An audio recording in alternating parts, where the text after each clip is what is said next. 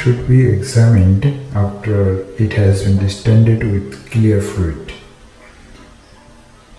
Um, in this way, gastric lumen, mucosa, muscularis mucosa, submucosa, and outer circular muscle layer can be identified with clarity.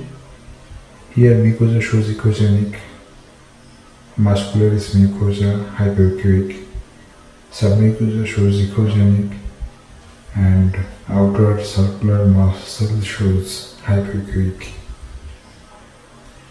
Here we can see the gastric peristalsis. Mm.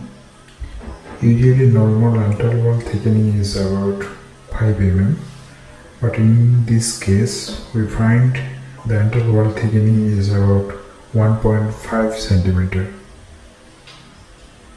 Here we can see the thickened antral wall. Uh, G endoscopy shows uh, ulcer proliferative growth in body and antrum of the stomach.